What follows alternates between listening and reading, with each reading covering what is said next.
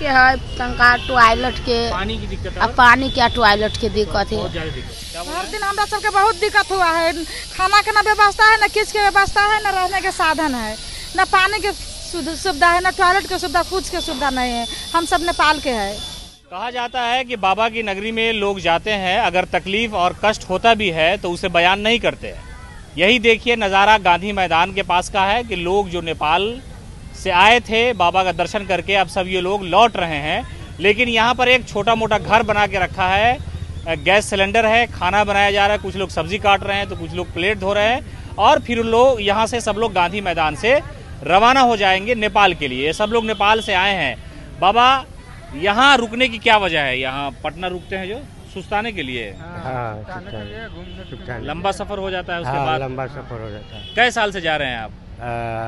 चार पाँच साल से जा- चार पाँच साल से जा रहे हैं। कौन जिला घर हुआ नेपाल में आप नेपाल के सरलाई जिला। सरलाही जिला से? हाँ। मतलब सरलाही महोत्री जलेसर सारे जिला के लोग हैं यहाँ? हाँ फिर यहाँ से आप निकल पड़ेंगे शाम को? हाँ। कैसा लगा वहाँ बाबा की नगरी गए तो? बहुत सुंदर लगा। बहुत सुंदर लगा। बाबा से भेंट करने के बाद बहुत अच्छा लगा बहुत बढ़िया लगा। सुल्तानगंज से जल उठाए बाबा के धाम जाकर बाबा के नगरी में जल जल दर्पण किया उधर। उधर से लौटते हुए बासुकीनाथ गया राजगीर राजगीर जल, जल चढ़ाए तब गए तपोवन गए तिरकुट पहाड़ गए आपसी में लौटते हुए अभी पटना में आकर खाना खाऊँगा बनाऊँगा। कुछ देर रेस्ट करूँगा आठ बजे नौ बजे करीब में चल जाऊँगा नेपाल। पटना में रुकना ज़रूरी रहता है थोड़ा सांस लेने के हाँ हाँ गांधी लेकिन पानी का बहुत समस्या है यहाँ पर। पानी के शौचालय के बहुत समस्या है इधर। हाँ। आपका? नेपाल में। नेपाल का जनकपुर? जनकपुर अंचल है जनकपुर जिला है सरलाही थाना है मलगवा। घर है सुचैना। निकले थे नेपाल से और बाबा की नगरी में कब पहुँचे और फिर वहाँ से कब लौटे? पूरी कहानी बताइए। बुध के निकले ग्यारह गते आ वहाँ से अ, सन के पहुँचे बाबा नगरी।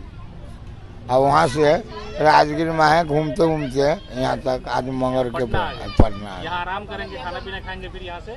चल देंगे। नेपाल के लिए। नेपाल के लिए। कई सालों से जा रहे हैं आप बाबा नगरी बाबा धाम जी। बुझिए ना कि कम से कम पैंतालीस छियालीस साल से। यहाँ यहाँ जो रुकते हैं जी। तो मतलब एक तरह से उसको जंक्शन बनाए हाँ हाँ हाँ हाँ से निकल हाँ यहाँ से कमी बेसी सामान किन लेते हैं? आ एक बार यहाँ खाना खा के गाड़ी खुलेगा सात बजे तो एक बार ही सात बजे सवेरे बॉर्डर पर चल जाएगा हमको वहाँ मलकवा बॉर्डर पर। भंसार कटाएँगे चल जाएँगे घर। हैं थकावट ज़्यादा हो गई बाबा की नगरी से लौट के। जी हो गया। आपका भी घर नेपाली हुआ हाँ नेपाली है। कई साल से जा रहे हैं आप? हम तो जाते हैं बाबा बहुत दिन से। हमको यही लगा हो गया बारह खेप। नहीं। यहाँ पटना में रुक के खाना उना खाते हैं सब्ज़ी बना रहे हैं हाँ हाँ सब्ज़ी बना रहे हैं खाना खाएगा। है बहुत ठीक दिन है। रह गया क्या में बाबा? सबके चीज़ के सुविधा है। मैं यहाँ मतलब कुछ पानी के दिक्कत होता है।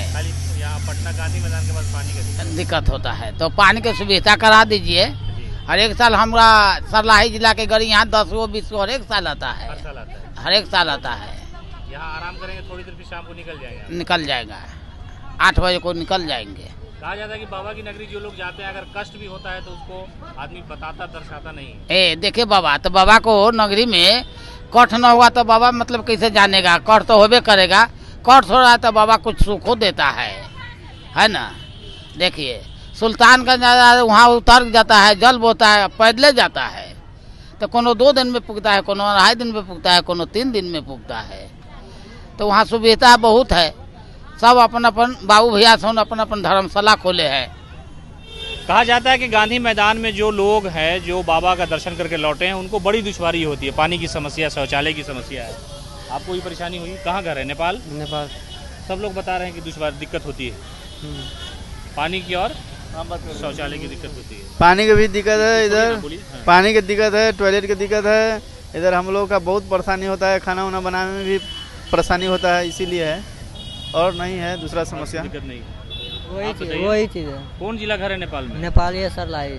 सरलाई सरलाई। से बहुत से लोग गए होंगे बाबा की नगरी। गए कैसा लगा दर्शन किए तो? ठीक है। फिर यहाँ से लौट जाना है शाम में? हाँ शाम में जाना है। फिर अगले साल?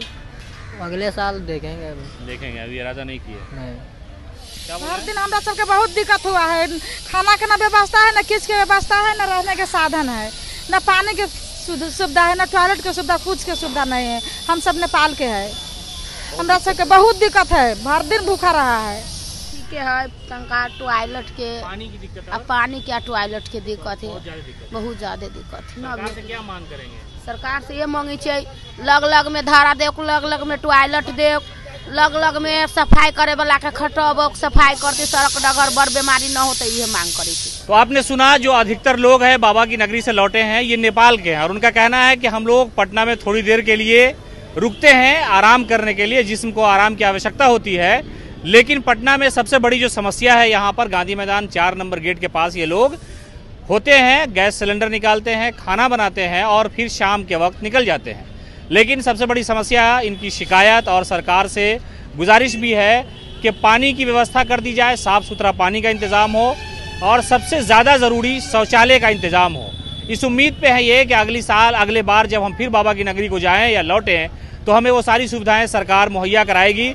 आपने सुना कि अधिकतर महिलाएँ हैं जो ये कह रही हैं कि हमारे पास सबसे बड़ी समस्या इसी बात की है कि शौचालय की दिक्कत है, शौचालय नहीं है गांधी मैदान के आसपास। हालाँकि ई टॉयलेट तो बना करके रख दिया गया है न्यूज़ फाउंडेशन के माध्यम से ही आपने देखा था, लेकिन उसे चालू नहीं किया गया।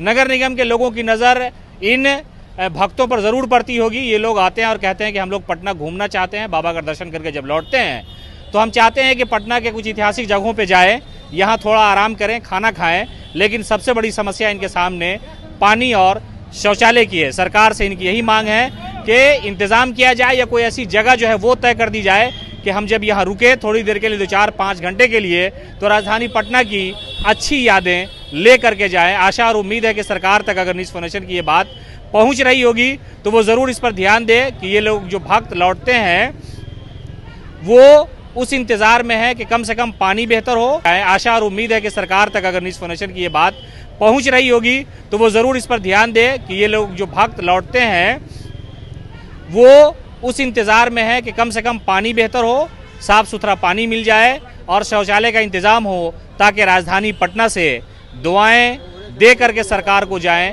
और इसी आशा के साथ इन लोगों ने बात की कि सरकार के सामने जो समस्या है, हमारे सामने जो समस्या है वो सरकार सुन ले, अगली बार हमें शायद बेहतर पानी का इंतज़ाम हो और खुले आसमान के नीचे बैठ के हमें खाना पीना न पड़े।